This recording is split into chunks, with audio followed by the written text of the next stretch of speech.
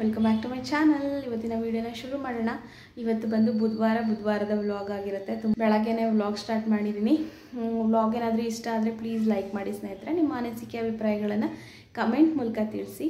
ಹಾಗೆಯೇ ಇನ್ನೂ ಯಾರೆಲ್ಲ ಸಬ್ಸ್ಕ್ರೈಬ್ ಮಾಡದೆ ನೋಡ್ತಾ ಇದ್ದೀರಾ, ಈಗಲೇ ನನ್ನ ಚಾನಲನ್ನು ಸಬ್ಸ್ಕ್ರೈಬ್ ಮಾಡಿ.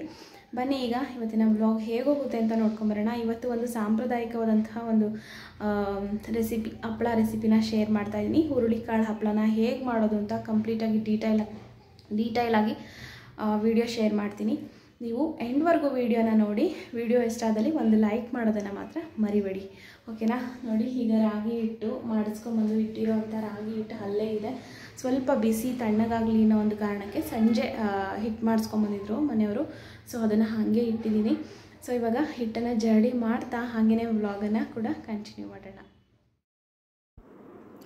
ನಿನ್ನೆ ಸಂಜೆ ರಾಗಿ ಹಿಟ್ಟನ್ನು ಮಿಲ್ ಮಾಡಿಸ್ಕೊಬಂದು ಹಿಟ್ಟಿರ್ತಕ್ಕಂಥ ರಾಗಿ ಹಿಟ್ಟನ್ನು ನಾನು ಜಡಿ ಮಾಡಿರಲಿಲ್ಲ. ಸೊ ಬೆಳಗ್ಗೆ ಮಾಡಿದ್ರಾಯಿತು. ಸ್ವಲ್ಪ ಬಿಸಿ ಇದೆ ತಣ್ಣಗಾಗಲಿನ ಕಾರಣಕ್ಕೆ ಹಾಗೆ ಇಟ್ಟಿದ್ದೆ. ಬೆಳಗ್ಗೆ ಲಕ್ಷ ಸ್ಕೂಲ್ಗೆ ಹೋಗಿದ್ದಾಳೆ. ತಿಂಡಿಗೋಸ್ಕರ ದೋಸೆ ಮತ್ತು ಚಟ್ನಿ ಮಾಡಿದ್ದೆ. ಹಾಗೆಯೇ ಲಕ್ಷಣ ಡ್ರಾಪ್ ಮಾಡಿ ಬಂದು ಹಸ್ಬೆಂಡ್ ಕೂಡ ಎಲ್ಲೋ ಹೊರಗಡೆ ಏನೋ ಕೆಲಸ ಇದೆ ಅಂದ್ಬಿಟ್ಟು ಅವರು ಕೂಡ ಹೋದರು. ಇವಾಗ ನಾನು ಟಿಫನನ್ನು ತಿಂದು ಈಗ ರಾಗಿ ಹಿಟ್ಟನ್ನು ಜರ್ಡಿ ಮಾಡ್ತಾಯಿದ್ದೀನಿ ತುಂಬಾ ಅಂದರೆ ರಾಗಿನ ಚೆನ್ನಾಗಿ ತೊಳೆದ್ಬಿಟ್ಟು ಒಣಗಿಸಿ ಒಂದು ಎರಡು ದಿನ ಚೆನ್ನಾಗಿ ಒಣಗಿಸಿದ್ದೀನಿ. ಒಣಗಿಸಿದಾದ ನಂತರನೇ ನಾನು ಮಿಲ್ಗೆ ಕೊಟ್ಟಿರೋದು. ತುಂಬ ಚೆನ್ನಾಗಿರುತ್ತೆ. ನೀವು ಕೂಡ ಆ ರೀತಿ ರಾಗಿನ ಯಾರಾದರೂ ತೊಳಿತಾ ಇಲ್ಲ ಅಂದರೆ ದಯವಿಟ್ಟು ತೊಳಿರಿ. ತುಂಬಾ ಡಸ್ಟು ಮತ್ತು ಗಲೀಜಿರುತ್ತೆ ಸ್ನೇಹಿತರೆ. ಆದಷ್ಟು ಇವಾಗೆಲ್ಲ ಮಷಿನ್ಗಳಲ್ಲಿ ಕೊಯ್ಸೋದ್ರಿಂದ ಅಷ್ಟೊಂದು ಚೆನ್ನಾಗಿರೋದಿಲ್ಲ. ಸೊ, ಹಾಗಾಗಿ ತೊಳೆದು ಒಣಗಿಸಿ ಕೊಡೋದ್ರಿಂದ ತುಂಬಾ ಒಳ್ಳೆಯದು ಆರೋಗ್ಯಕ್ಕೆ ಅಂತ ಹೇಳೋಕ್ಕೆ ಇಷ್ಟಪಡ್ತೀನಿ. ಹಾಗೆಯೇ ನಮ್ಮ ಮನೆಯಲ್ಲಿ ದಿನದಲ್ಲಿ ಎರಡು ಸಲ ಮುದ್ದೆ ಕಂಪಲ್ಸರಿ ಇರಲೇಬೇಕು. ಸೊ, ಹಾಗಾಗಿ ನಾವು ಮಂತ್ಲಿ ಮಂತ್ಲಿ ರಾಗಿ ಹಿಟ್ಟನ್ನು ಮಾಡಿಸ್ಲೇಬೇಕು. ಆದಷ್ಟು ಒಂದು ಎಂಟರಿಂದ ಹತ್ತು ಕೆ ಜಿ ರಾಗಿನ ನಾನು ಹಿಟ್ಟು ಮಾಡಿಸ್ಕೋತೀನಿ.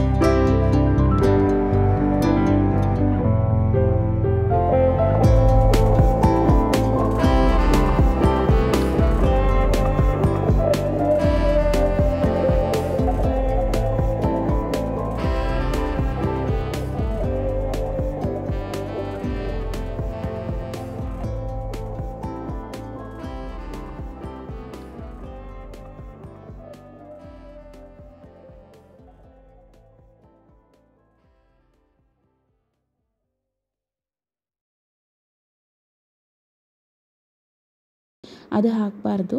ಈ ರೀತಿ ಬರೀ ಮೆಣಸಿನ್ಕಾಯಿನ ರುಬ್ಬಿಬಿಟ್ಟು ಅದನ್ನು ಪುಡಿ ಮಾಡಿಕೊಂಡು ಹಾಕೋಬೇಕಾಗತ್ತೆ. ನೆಕ್ಸ್ಟ್ ನೀವು ಇಲ್ಲಿ ನೋಡ್ಬೋದು ನಾನೀಗ ಒಂದು ಬಟ್ಟೆನ ಹಾಕ್ಕೊಂಡಿದ್ದೀನಿ ಆದಷ್ಟು ಬಟ್ಟೆ ಮೇಲೇ ಇದನ್ನು ಕಲಿಸ್ಬೇಕು. ಪಾತ್ರೆಗಳಲ್ಲಿ ಕಲಸೋದು ಅಂತಂದರೆ ಅಂದರೆ ಜಾಸ್ತಿ ಇರುತ್ತಲ್ವ? ಹಂಗಾಗಿ ಪಾತ್ರೆಲಿ ಕಲ್ಸೋದು ಕಲಸೋದಕ್ಕೆ ಆಗೋದಿಲ್ಲ. ನೆಕ್ಸ್ಟ್ ನಾನೀಗ ಜಡಿ ಮಾಡ್ಕೋತಾ ಇದ್ದೀನಿ. ಇದರಲ್ಲೂ ಕೂಡ ಒಂದಷ್ಟು ಗಂಟುಗಳಿರುತ್ತೆ ಮತ್ತು ಈ ಏನಾದರೂ ಬೇರೆ ಏನಾದರೂ ಸಿಗುತ್ತೆ. ಅದಕ್ಕೋಸ್ಕರ ಹಪ್ಪಳ ಮಾಡೋದಲ್ವ ಹಾಗಾಗಿ ಗಂಟಿರಬಾರ್ದು ಅನ್ನೋ ಒಂದು ಕಾರಣಕ್ಕೆ ನಾನೀಗ ಫಸ್ಟ್ ಜಡಿ ಮಾಡ್ಕೋತಾ ಇದ್ದೀನಿ. ನಾನಿಲ್ಲಿ ಇದಕ್ಕೆ ತೊಗೊಂಡಿರುವಂಥ ಇಂಗ್ರೀಡಿಯೆಂಟ್ಸ್ ಬಂದು ರುಚಿಗೆ ತಕ್ಕಷ್ಟು ಉಪ್ಪು ಆ್ಯಂಡ್ ಅಡುಗೆ ಸೋಡಾ ಮತ್ತು ಜೀರಿಗೆ ಮತ್ತು ಅಚ್ಚ ಖಾರದ ಪುಡಿ. ಇಷ್ಟನ್ನ ತೊಗೊಂಡು ನಾನು ರೆಡಿ ಮಾಡ್ಕೊಂಡಿದ್ದೀನಿ. ಹಾಗೆ ಒಂದು ಪಾತ್ರೆಯಲ್ಲಿ ನೀರು ಕೂಡ ತೊಗೊಂಡಿದ್ದೀನಿ. ಈ ರೆಸಿಪಿ ಮಾಡುವಾಗ ಇಬ್ಬರು ಕಂಪಲ್ಸರಿ ಇರಲೇಬೇಕು. ಹಿಟ್ಟು ಕಲಿಸುವಾಗ ಒಬ್ಬರು ನೀರು ಹಾಕ್ತಾ ಇರಬೇಕು ಇನ್ನೊಬ್ಬರು ಕಲಿಸ್ತಾ ಇರಬೇಕು. ನೀರೇನಾದರೂ ಸ್ವಲ್ಪ ಜಾಸ್ತಿ ಕಡಿಮೆ ಆಯಿತು ಅಂದರೂ ಕೂಡ ಅದು ಹಪ್ಪಳ ಕೆಟ್ಟೋಗ್ಬಿಡುತ್ತೆ. ಸೊ ಹಾಗಾಗಿ ಹಸ್ಬೆಂಡ್ ಮನೆಯಲ್ಲೇ ಇದ್ರಲ್ಲ, ಇವತ್ತು ಅವ್ರಿಗೂ ನನಗೂ ಸ್ವಲ್ಪ ಹೆಲ್ಪ್ ಆಗಿಬಿಡತ್ತೆ. ಇವತ್ತು ಮಾಡಿಕೊಂಡ್ರೆ ಅಂದ್ಬಿಟ್ಟು ಸಡನ್ನಾಗಿ ಇವತ್ತು ನಾನು ಹಪ್ಳನ ಮಾಡ್ತಾಯಿದ್ದೀನಿ ನೆಕ್ಸ್ಟ್ ನೀವು ನೋಡ್ಬೋದು, ಜರಡಿ ಮಾಡ್ಕೊಂಡಿದ್ದೀನಿ. ಈಗ ಜರಡಿ ಮಾಡಿದಾದ ನಂತರ ಒಂದೊಂದೇ ಇಂಗ್ರೀಡಿಯೆಂಟ್ಸ್ನ ಹಾಕಿ ನೀಟಾಗಿ ಹಿಟ್ಟಲ್ಲಿ ಏನಿದೆ ಅದು ಹಿಟ್ಟಿನಲ್ಲಿ ಎಲ್ಲ ನೀಟಾಗಿ ಮಿಕ್ಸ್ ಆಗಬೇಕು. ಅಲ್ಲಿವರೆಗೂ ಚೆನ್ನಾಗಿ ಕಲಿಸ್ಕೊಳ್ಳೋಣ. ಇದಕ್ಕೆ ಮೆಜರ್ಮೆಂಟ್ ಹೇಗೆ ಅಂದರೆ ಎಷ್ಟು ಕೆ ಜಿ ಬೇಳೆ ಇದೆ ಅಂತ ಫಸ್ಟ್ ನೋಡ್ಕೋಬೇಕು. ಇಲ್ಲಿ ಬಂದು ನನಗೆ ಒಂದು ಮೂರು ಕೆ ಜಿ ಬೇಳೆ ಇದೆ. ಹಾಗಾಗಿ ಮೂರು ಹಿಡಿಯೋಷ್ಟು ಖಾರದ ಪುಡಿನ ಹಾಕ್ಕೊಂಡಿದ್ದೀನಿ. ಹಾಗೆ ಮೂರು ಹಿಡಿಯೋಷ್ಟು ಉಪ್ಪು ಹಾಕ್ಕೊಂಡಿದ್ದೀನಿ. ಆ್ಯಂಡ್ ಒಂದು ಹಿಡಿಯೋಷ್ಟು ಸೋಡಾ ಹಾಕ್ಕೊಂಡಿದ್ದೀನಿ ಅಂದರೆ ಸೋಡಾ ಚೆನ್ನಾಗಿ ಹಾಕೋದ್ರಿಂದ ತುಂಬ ಸಾಫ್ಟ್ ಆಗುತ್ತೆ ಹಪ್ಪಳ ಅನ್ನೋ ಒಂದು ಕಾರಣಕ್ಕೆ. ಹಾಗೆಯೇ ಒಂದು ಹಿಡಿಯಷ್ಟು ಜೀರಿಗೆ. ಇಷ್ಟೆಲ್ಲ ಇಂಗ್ರೀಡಿಯೆಂಟ್ಸ್ ಹಾಕಿದಾದ ನಂತರ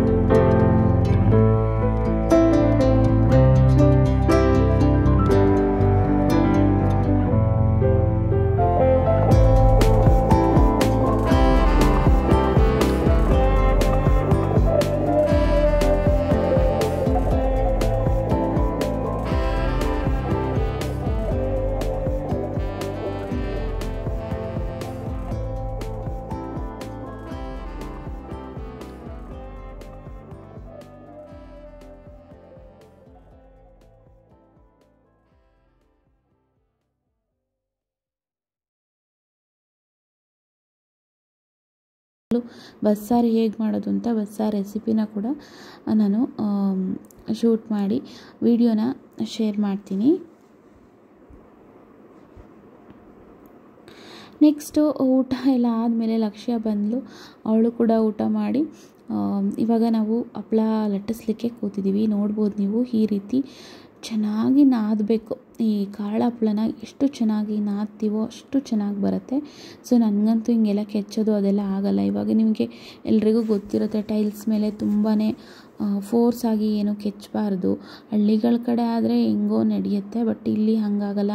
ನಾವು ಮೇಲಿರ್ತೀವಿ, ಕೆಳಗಡೆ ಇರೋರಿಗೆ ತುಂಬಾ ಡಿಸ್ಟರ್ಬ್ ಆಗುತ್ತೆ ಅನ್ನೋ ಒಂದು ಇದಕ್ಕೆ ಹಾಗೆಯೇ ನಮ್ಮ ಮನೆಯವರು ಕೈಯಿಂದ ಈ ಥರ ಪ್ರೆಸ್ ಮಾಡಿ ಅದನ್ನು ಆದಷ್ಟು ಸಾಫ್ಟ್ ಮಾಡ್ತಿದ್ದಾರೆ, ನಾದ್ತಿದ್ದಾರೆ. ನೋಡಿ ಈ ರೀತಿ ಚೆನ್ನಾಗಿ ನಾದಬೇಕು ಹಿಟ್ಟನ್ನು. ಎಲ್ಲೂ ಸ್ವಲ್ಪನೂ ಕೂಡ ಒಣಗಿದ ಥರ ಇರಬಾರ್ದು.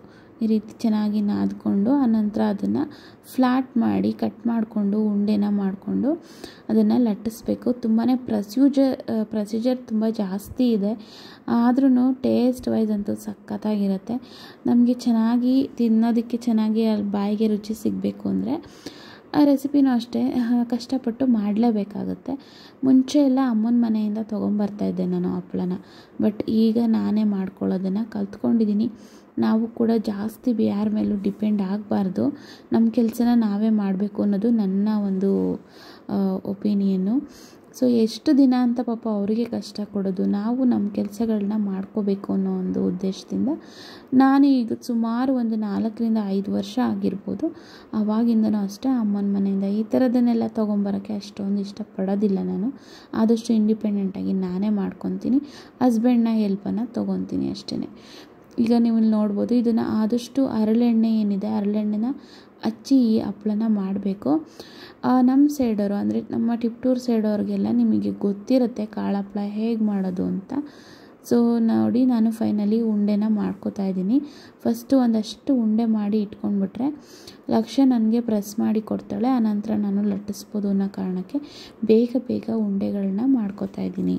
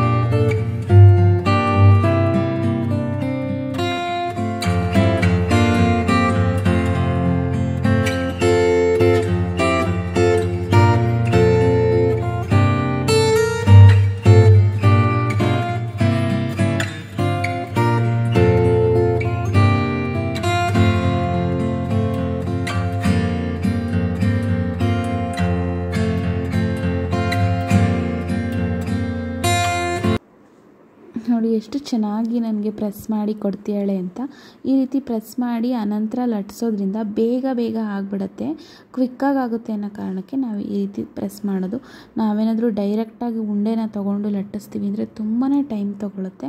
ಹಾಗಾಗಿ ಆದಷ್ಟು ಅರ್ಧ ಬರ್ಧ ಪ್ರೆಸ್ ಮಾಡಿರೋಂಥ ಹಪ್ಪಳನ ಬೇಗ ಬೇಗ ಲಟ್ಟಿಸ್ಬೋದು ಅನ್ನೋ ಕಾರಣಕ್ಕೆ ಪ್ರೆಸ್ ಮಾಡಿಸ್ತಾ ಇದ್ದೀನಿ. ಸೊ ನೋಡಿ, ಈ ರೀತಿ ಒಂದೊಂದಾಗಿ ಒಂದೊಂದಾಗಿ ಪ್ರೆಸ್ ಮಾಡಿ ಹಾಕ್ತೇಳೆ. ನಾಡು, ನಾನು ಕೂಡ ಈಗ ಲಟ್ಟಿಸ್ತೀನಿ. ಇದನ್ನು ಹಪ್ಪಳನ ಲಟ್ಟಿಸ್ಲಿಕ್ಕೆ ನಾನು ಮೈದಾ ಹಿಟ್ಟನ್ನು ತೊಗೊಂಡಿದ್ದೀನಿ.